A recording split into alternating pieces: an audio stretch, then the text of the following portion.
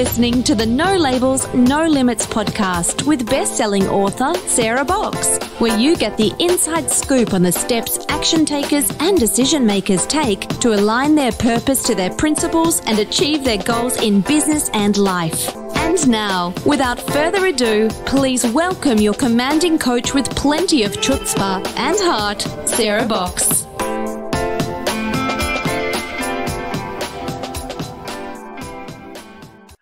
Gender gaps remain a significant influence around the world, and having women in leadership positions can make a difference to your business or organization's performance and the bottom line. But here's the thing if a woman doesn't believe in the value of her contribution and her capabilities, she rarely delivers all she can. So both dollars and innovation are left untapped and they may not have walked in the door in the first place. So our guest today says that when that happens, it's most likely due to the gender code. Hi, this is Sarah. Thanks so much for downloading this episode of the No Labels, No Limits podcast, a podcast all about shedding limiting labels and beliefs so that we can lead fulfilling, meaningful, and purposeful lives. And I believe without a doubt, we are each capable of more than we imagine and so does my guest today, Danielle Dobson. So before I bring Danielle on and we get to have a great conversation, let me tell you a little bit about her background. Danielle is an author, she's a speaker, a coach, and an advocate. She has a she is a CPA and she has an extensive 14-year corporate background. And she's covered everything from private practice to multinationals, and she's lived and worked in four different countries. But seven years ago, Danielle pivoted away from her corporate career to help working mothers find more freedom and fulfillment through coaching in well being. And this change wasn't just out of the blue, but it came on the heels of identifying the high level of stress and overwhelm being experienced by working mothers, including herself. So, yep, she's a working mom and she knows all about the challenges of that.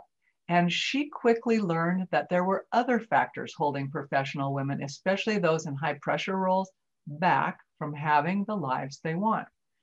She wanted to find out more about the details and what the factors were, if you will. So she interviewed more than 50 women and also some really good men in leadership positions across a diverse range of industries.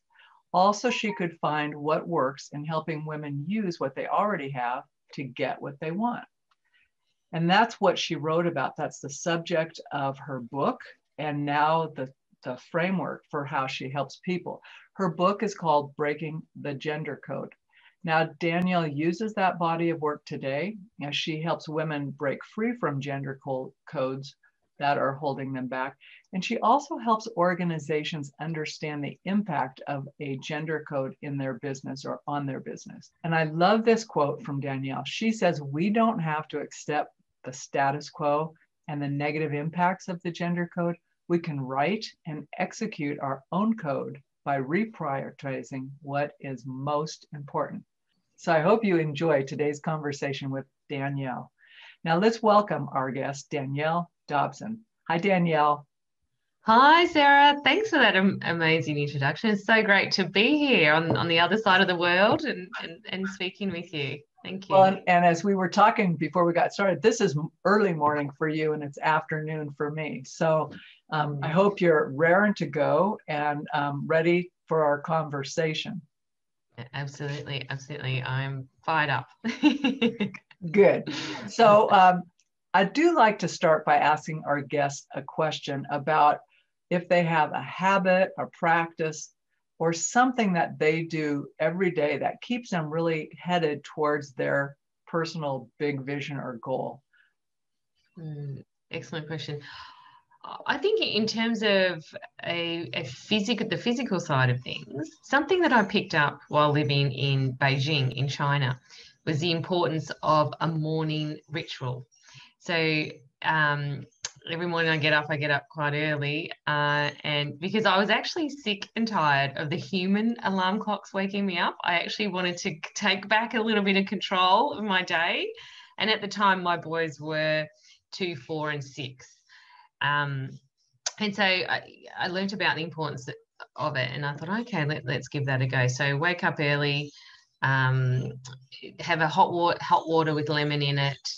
Um, hopefully that flushes out the pipes and then some qigong in the morning. So it's about a half an hour routine and it really grounds me. So really helps me start the day on my terms.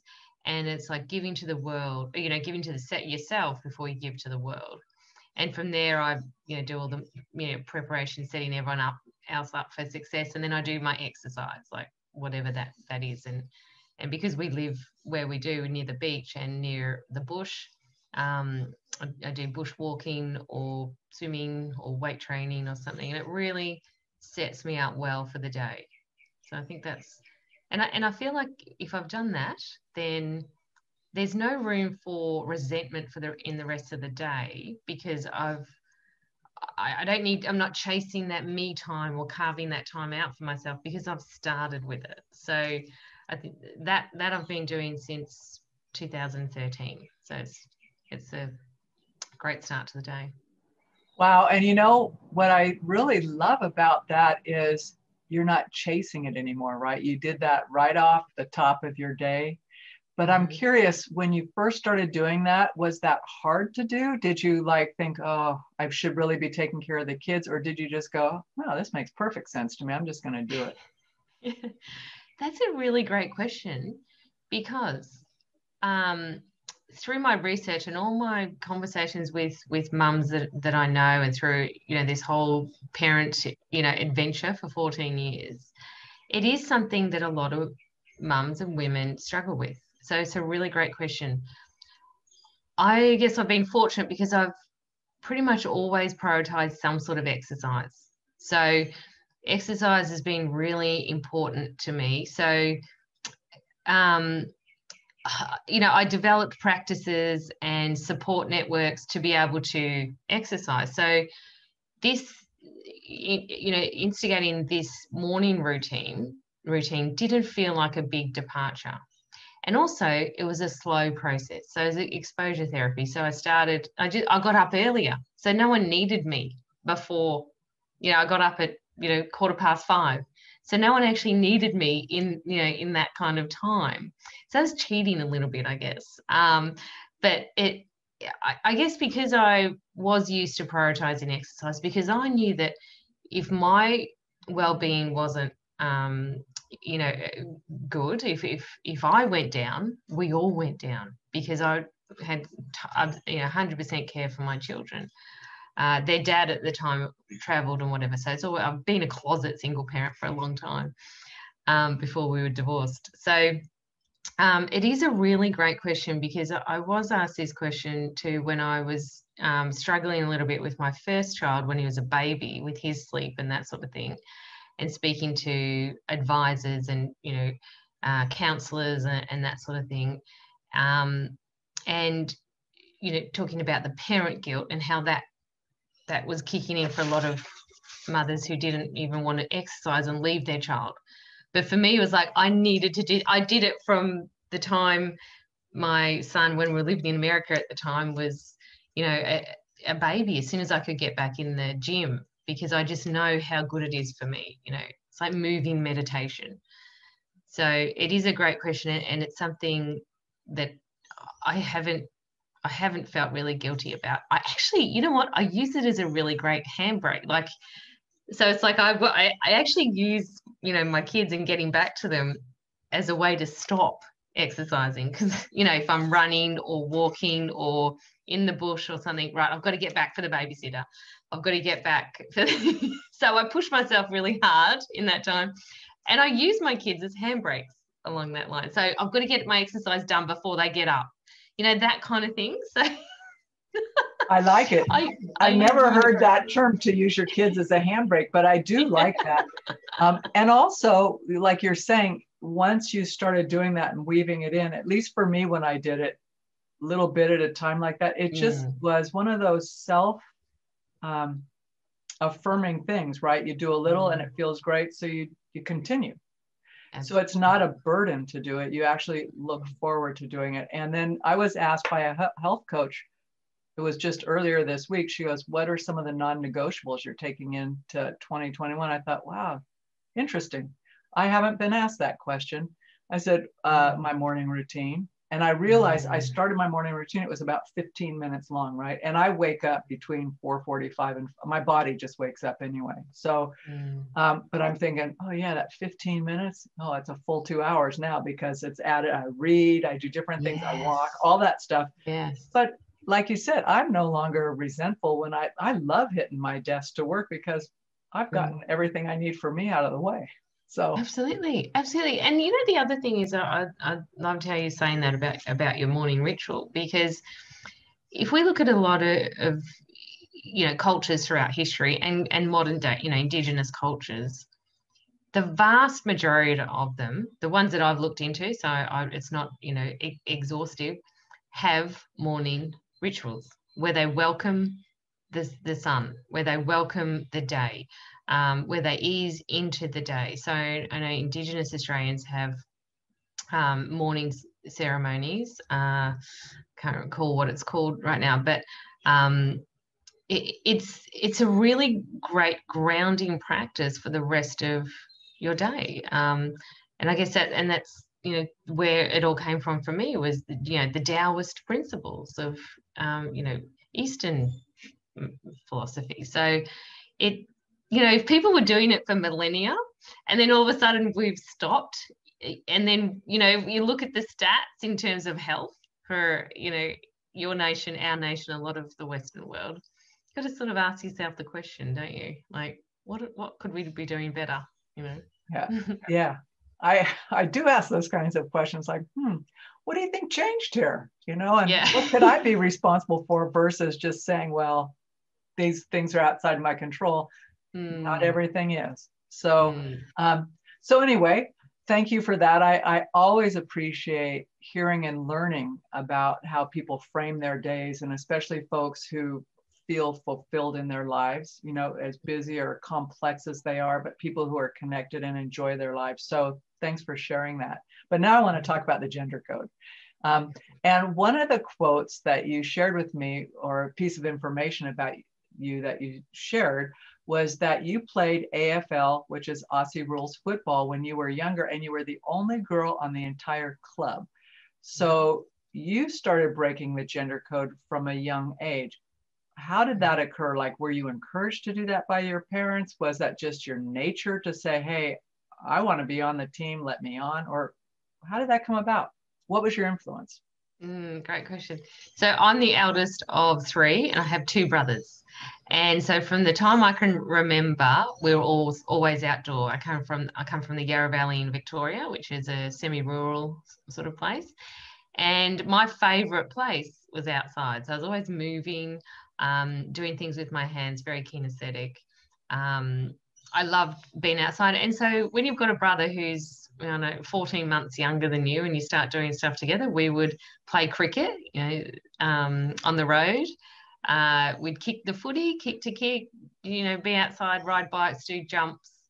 Um, so it, it's a really nature nurture sort of thing. It's like, well, the environment that we're in um, provided those opportunities, but then also I love to to to, to move.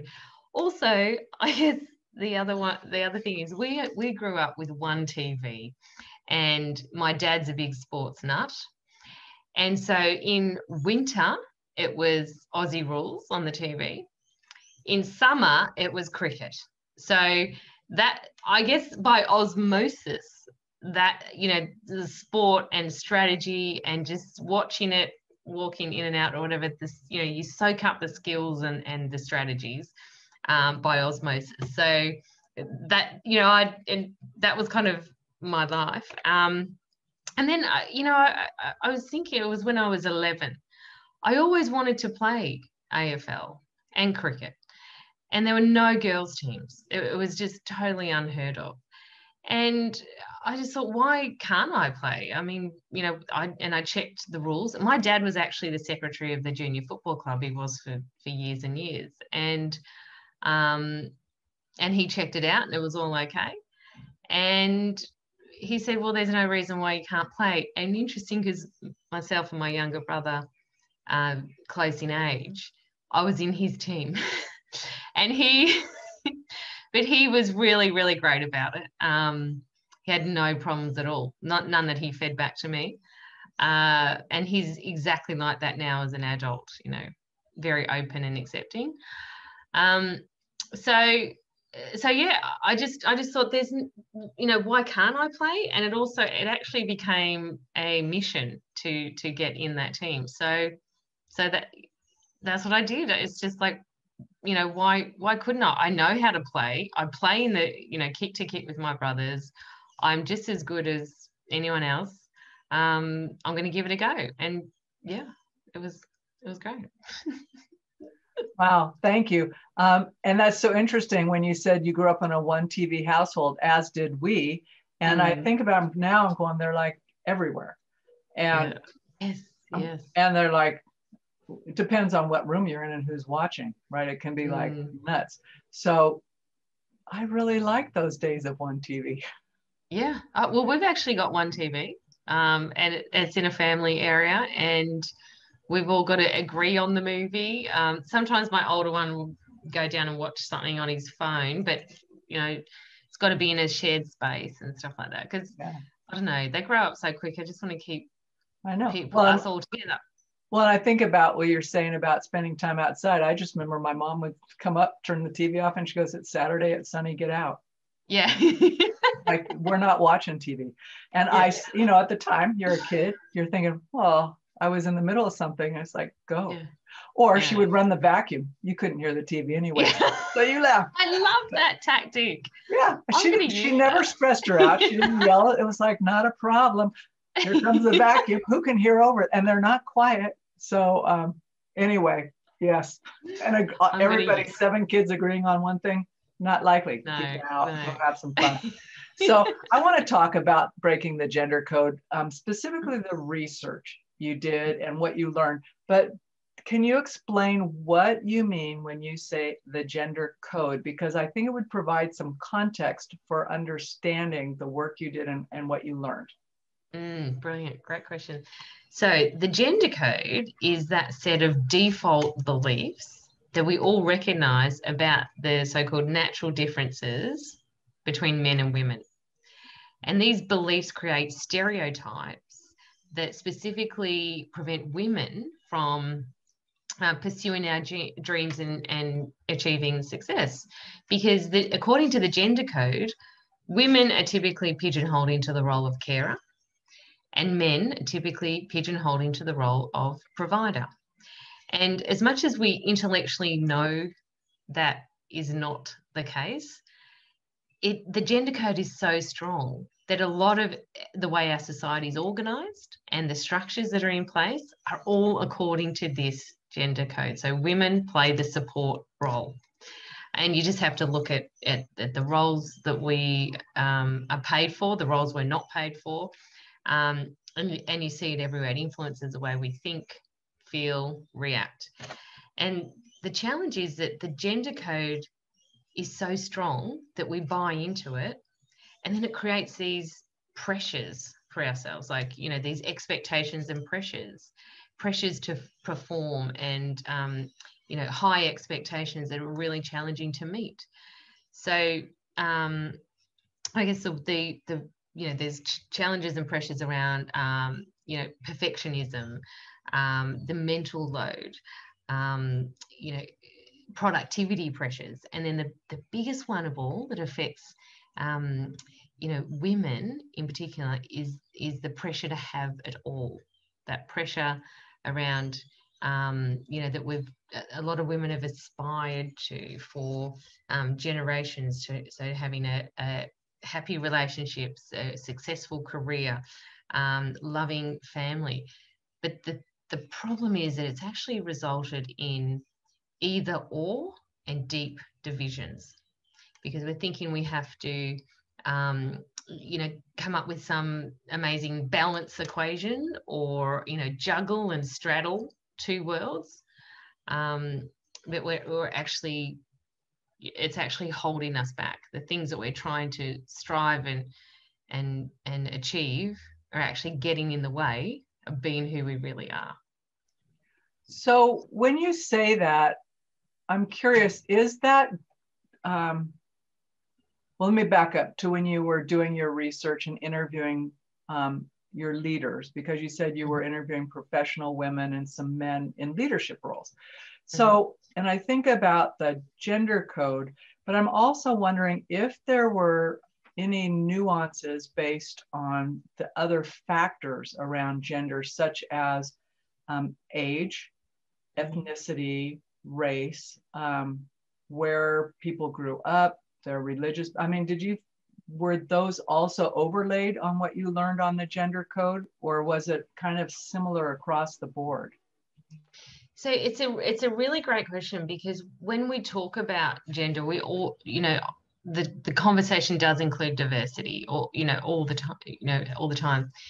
With the research that I was doing and the lens that I was looking through as I was interviewing people, was specifically about um, you know what's working well and well, what are the challenges but what really i wanted to know what's working well about being um, a leader and then a, and a lead parent. So i was really looking through that lens. So my focus wasn't as much on um, uh, you know the the other deeper factors that we look at that we can box up but if we have a, so that I did interview some women of color, not because they were women of color, but because they were women who were recommended to me for their leadership um, uh, abilities. Um, so I wasn't really looking through those lenses. I will say that, you know, people who have come from really tough backgrounds, so where there's been a lot of financial hardship. So, so uh, one woman from uh, India um, was really challenging um, upbringing. Um, people and, and so people have been in challenging family situations.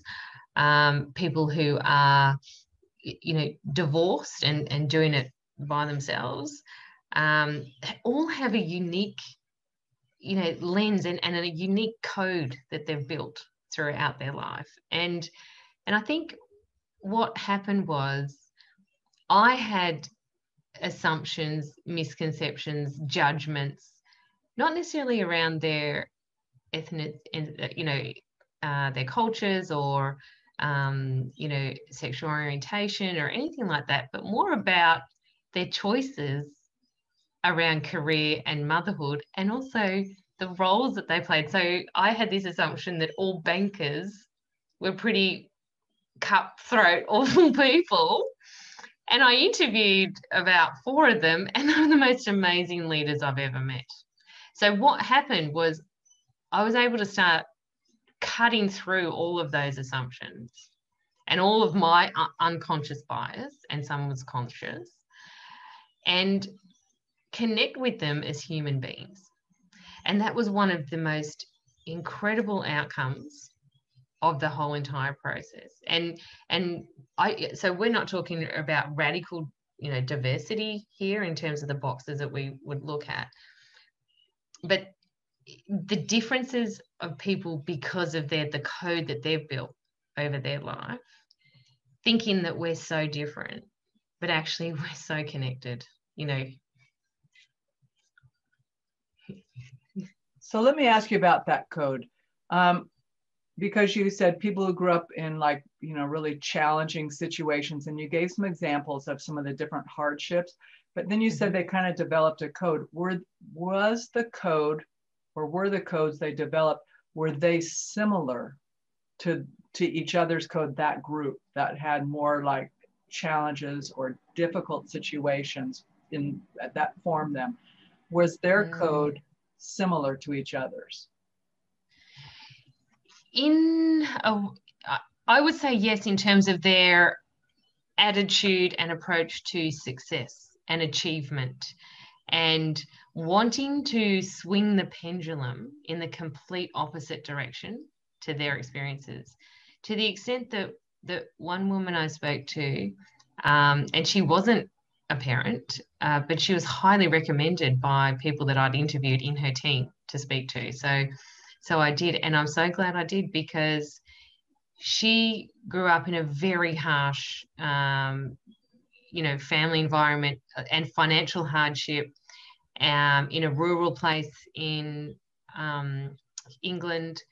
And she decided that if she ever had a family, that she would make sure that they're um, that they're secure, that they felt um, protected, they felt loved, and they they wouldn't have you know financial hardship. So a lot of her code was built around that. She had an incredible job, and she decided that she couldn't be a parent and and do what she did at work well so she chose not to have children so but then the interesting thing is when she was talking about her team all 300 of them she'd actually created that environment that she wanted to create for her family. It was exactly and I and she said yeah it's it's like I'm the matriarch and I joke about that you know often. And that for me it, it just it, it, it completely opened up this whole way of looking at not only just the code that we've built you know throughout our life and how that influences us in everything we do and in particular in leadership but how those elements of caring for others, of setting others up for success, of helping them feel secure and that their contribution matters. What a powerful leadership asset that is, asset that is. Because this person had people queuing up to be on her team. She had people asking to mentor her, mentor her, mentor her often. She was right. She rose up through the ranks really, really quickly. She's got an incredible job now in uh, an Asian country. Um, and so I think in terms of of that as well, and you asked me before about the similarities in terms of codes, I think they all had a deep desire to do better, to, to, to provide for others what they feel they missed out on, and to you know set everyone else up for success around them. Did that, that was did that surprise you? Yes, it did. And that was based on my lens of and my experience in the corporate world, in uh, male dominated engineering service, eh, majority engineering services companies, uh, where the, the focus was all about profit, bottom line, and bonuses. That was all we were we were there for to do. And I had not experienced any leaders like her, the caliber of her. I it was it was all pretty cutthroat. It was all about money and numbers. So and I thought because she was a high level banker that that she would fit that box. So that was my bias there that I needed to break. Isn't so that fun though when that happens when you're going, ooh, that was an assumption on my part. Isn't that fun when you get that kind of like that bubble yes. pops and you go, yeah. everything looks different. It's crystal clear in some area and it's like fun. You're going, ooh, boy, that feels great. Um, totally, totally. I can't, I can't tell you walking out of that plush, like, I don't know how many 50 story building in the city after having the interview with her. And it's like, I had to sit down because I was like, oh wow wow. This is it. There's so many bubbles that have bursted right now. And i had to really take it in. And i was fortunate because everyone allowed me to uh, tape the interview. So I, I did listen to it many times and had it transcribed. And it was the start of a really incredible you know bubble but you know just a a lot of bubble bursting a lot of aha moments. Like you went, oh, so many. Wow. Yeah. Yeah. Yeah. Was there anything that was distressing for you to see or learn in your in through your interviews?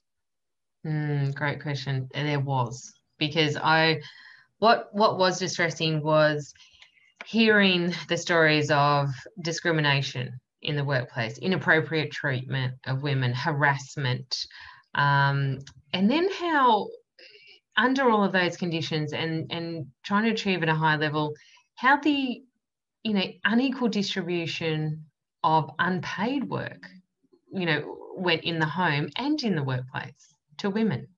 You know it was it was heavily skewed towards women. And Uh, it just occurred to me because it was interesting in my corporate career, I, I accepted a lot of the, the status quo and the norms as that's just the way it is, grown up in a very male world, you know, like that. But I think what, and what happens though is when you see others suffering and you see and you hear their suffering and you can and really feel it then it triggers something deep within you and it and it just compelled me to want to do something about it. So that's when i started looking into why are we where we are and what impact is it having right now and how can we fix it? So that's what got me really researching going down those rabbit holes and where i came to the gender code. So let's talk a little bit about um, your book. And first let me ask you when someone reads it, what do you mm-hmm. hope their takeaway is? Mm, excellent question. So it depends on the type of person they are. So um, there's there's really two parts to it. You know, the first part is the the exploration exploration into what is the gender code and how we got here. So that's full of aha moments. And yeah, uh, you know, the, that connection, I see mm. that in my workplace. I see that in my home. Yeah, that isn't fair. What are we doing? So, so there's that, that's kind of like an opening of the minds section of the book. So if, if you would like the opening part and that that's enough, then that's great. But then the whole second part of the book is okay, this is how it is. Let's question the code understand what it's all about and interpret it. And then ask the question, do we want to continue on this path? And if you, and if you do, that's totally fine. But if you don't, you can choose to reorientate and and think about which parts of the code that I've built do I want to keep and value because it's really important to me. Which parts do I want to delete? And then which new parts do I want to create? I guess well, I guess that's another part of it. It's like have that reflection piece, and and and then the next part of the book is the action, like creating and writing your own code. So, I guess I would like people to walk away thinking that they don't have to accept the status quo as it is right now, and you can re- write and execute your own code, and there's a framework or guidance that you can use to do that.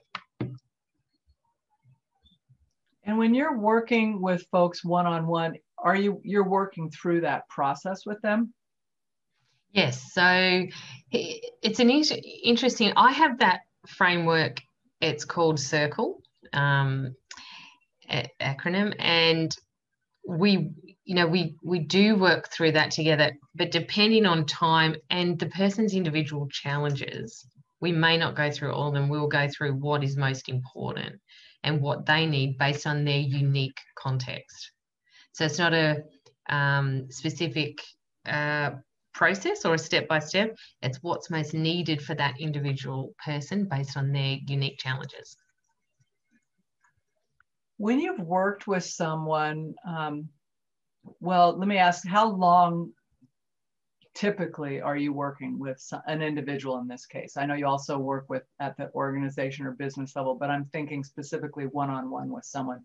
How long typically is your engagement with them? Great question. And this also depends on, you know, where people are at. So I do conduct like 90 minute sessions. So that's really, but that's more of a um, awareness and an understanding and and like a at the moment actually I'm I'm running uh, reset sessions. So looking at closing out 2020 and drawing a line in the sand, and then having a structured review about what we want to take forward into 2021, and then developing an action plan. So that that all that's kind of a you know 90 minute, but longer engagements.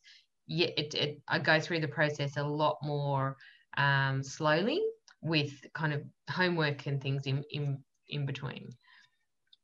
So it's a different process. And what has been or have been some of the um, transformations the folks you work with have had that you're just thinking, oh my God, I'm so grateful that I did this work and now I can be part of this transformation? Mm. I think the biggest ones for me, it, it's not necessarily really easy to, you know, outwardly measure, but it's when they say, I've, I don't feel guilty anymore. I don't feel like I have to be everything and do everything all the time. It's not all on me. Um, I can drop the mummy guilt. I can be successful in my career. I can also be an awesome mum. Um, that, I mean, thinking about that now, like that kind of feedback too, it just it lights me up because that is the fuel that keeps me going with this, and that is the type of fuel that kept me going with writing the book. That is what this is all about. Yeah, that kind of that freedom and release. And I think when we feel that way, man, we can do so much great things. And I don't mean like produce always, but we just can mm-hmm. be mm-hmm. more. And um, then everybody we interact with benefits as well as ourselves. Absolutely. Absolutely. And when, but I'm going to get pragmatic with you mm-hmm. um, for a second. So, say I'm a business owner and I've got women and I, I have a mix. Let's just say I have a mixed team, small team.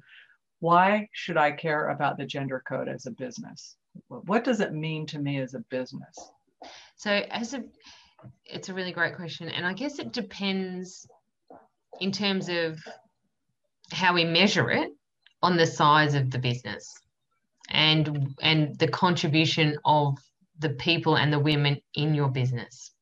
So let's just say you have um, okay, so a smaller size business and you've got um, challenges with team cohesion or things around, you know, flexible working, and you've got some people who are who can do it, some people who can't do it. Then you've got resentment within your whole organization, not just not just the women, because it's not something that is norm normalized.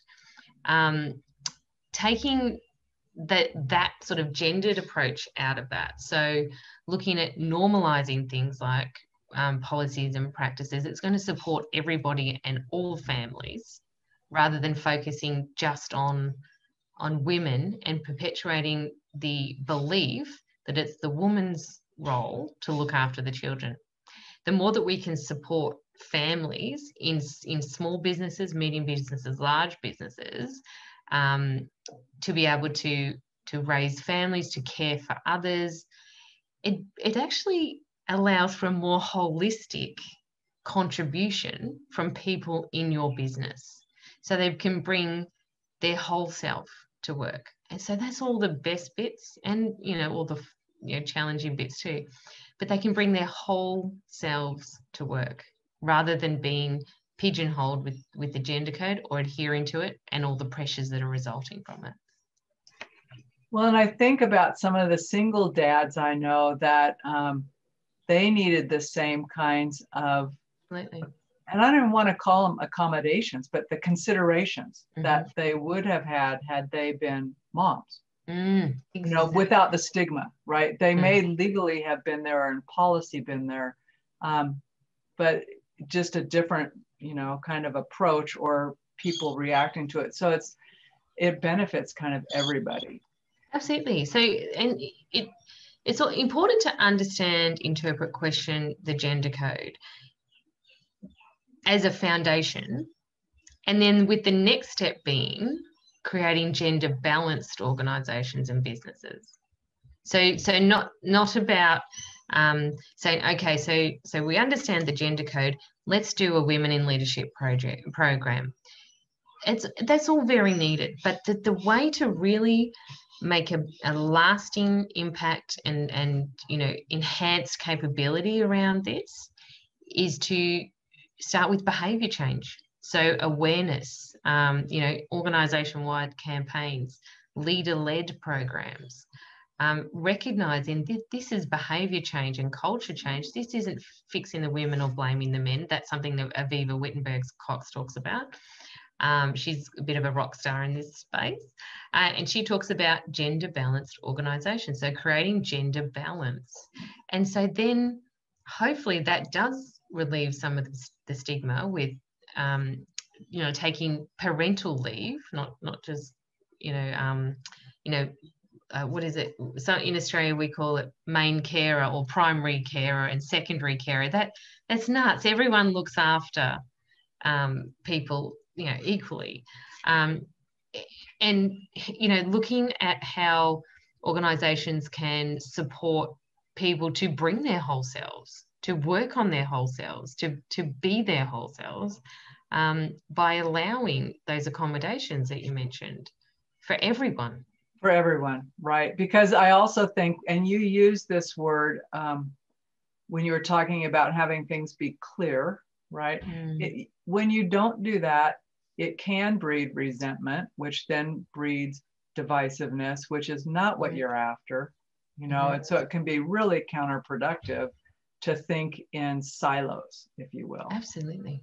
So. Absolutely. And and sometimes it, it can feel like um, you know, if one part of the population is receiving additional resources and attention, people can start looking through that lens for everything you know that that that's why i'm missing out because of that that's why she's getting that because of the gender thing whereas if it's all if it's about cultural change about um, you know inclusive behaviors and mitigating unconscious bias and accepting that that unconscious bias is all part of being human if you've got a brain you're going to have it. it it's okay you know and that's part of you know understanding your personal code and and keeping those parts that you want to keep, but you've just been aware of, of the code that you've built. And then leveraging all the strengths that you have around who you are and your code and your identity, um, rather than blaming or shaming any of those. So bringing everyone along, um, you know, for ultimately in a business to achieve what you want to ch- achieve, which will be unique for each business. Yep. Yep.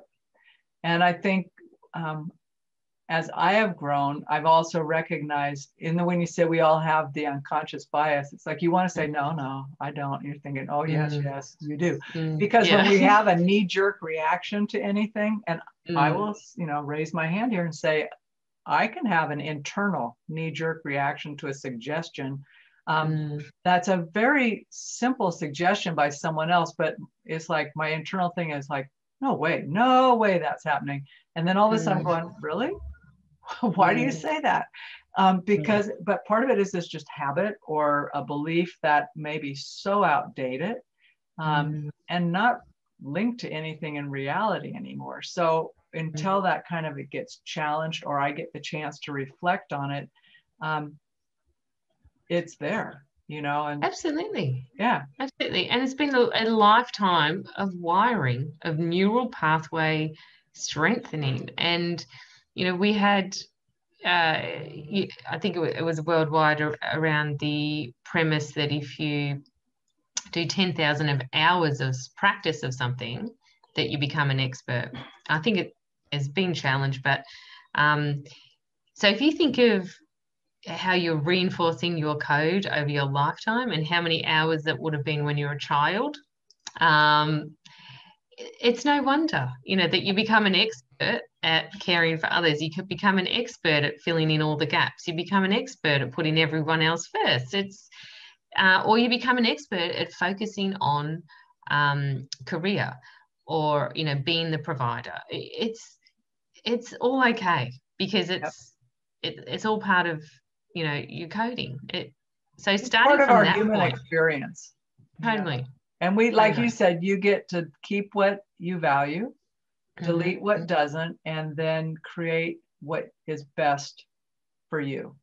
Mm, um, yes. And I think we're all a little bit different. So, and I will say that some of those wacky things are self preservation things, you know. So, some of the things that someone may think, well, I'm not sure that serves, if you put them in another context, you're thinking that's the exact person I want with me. Right. Mm-hmm. So, I think mm-hmm. context mm-hmm. can also frame um, mm-hmm. Um, and so, I mean, that goes back to your whole leadership thing too, right? What's the purpose of this group and those types of things. Mm-hmm. So, what um, is the best way, Danielle, for people who want to either work with you directly or know more about you, grab your book? What's the best way for people to connect with you? So, the best way to connect is either to email me at uh, danielle at codeconversations.com.au or go to my website uh, that has a, a lot of information about my book and some reviews and, and everything I've been doing in, in media. It has a media page, um, and that's www.codeconversations.com.au. You can purchase my book off there, but it's also available on Amazon, Barnes and Noble, uh, Kobo, all the all the usual suspects around online books, uh, the book online book sites, um, and and yeah, or I'm on LinkedIn daily, so uh, check me out there too. A little bit on Instagram, but um, mostly I do post on on LinkedIn. Um, so yeah, if you find out more, and uh, we can plan a you know 10 minute zoom zoom call have a quick chat or whatever it is. And i i love conversations. So that's why I, that's why i called my my company code conversations because that's really um, what has opened up you know listening and speaking but opened up everything you know just completely blew my world apart um, with this research project. But I, I honestly feel that every conversation counts um, so yeah, I, I encourage you if you're interested, if you want to know more, email me, message me, or and we can set up a call. I'd recommend folks do that um, because I've just enjoyed. First of all, I've enjoyed this conversation, but Danielle left me the best voicemail. I really, and I know I told you that when I responded to it, but I thought by the time I'd listened to it, I'm thinking, oh, she's so interesting. I'm calling her back. Um, anyway, so I want to encourage folks to reach out, um, to get the book, to connect with you. And Danielle, I want to ask you one more question before we wrap up, and that is, you know, we're we're recording this at the beginning of December, so 2020 is almost in the rearview mirror. What mm-hmm. are you looking forward to in 2021? Uh, so many things. I'm looking forward to bringing all of the the incredible learnings from 2020 um, and embedding them into my you know daily practices in 2021 and and you know not losing sight of of it um, there's opportunities coming up you know we're really fortunate in australia that we're in a really good place with um, with COVID. So we are going back to live events. Um, so I'm looking forward to sharing the message with people in person and um, getting out there and helping people and, and spread this message. So I'm really excited about 2021. well, I'll be I'll be sticking with you on LinkedIn so I can keep up to date with what you're doing. Right, excellent. Thank you. you're welcome. So that's it for this episode of the No Labels, No Limits podcast. And I want to thank everybody for listening. I do have a request. If you enjoyed this conversation with Danielle, I definitely want you to go out and link to her page, let her know what you thought about it, but help us continue to share the message of hope and possibilities through your inspired action. If you would visit us at sarahboxx.com forward slash no labels, no limits podcast, um, and click on the link there. You can help get this word out to more people. If you would go and leave a rating and review on wherever you're listening to this podcast, that would be great because the more people who listen, the more people that Danielle and my other guests can help open doors for them as they go forward in their lives. And until next week, I wish you all the best. You've been listening to the No Labels, No Limits podcast with best selling author, change agent, and strategic vision coach, Sarah Boxx. You can grab the show notes and find out how to work with Sarah at sarahboxx.com forward slash no labels, no limits podcast. We'd love this podcast to reach as many people as possible. So please remember to rate, leave a five star review, and share the podcast with someone you think would get value from this conversation. Until next time, keep taking those daily action steps to align your purpose to your principles and achieve your goals in business and life.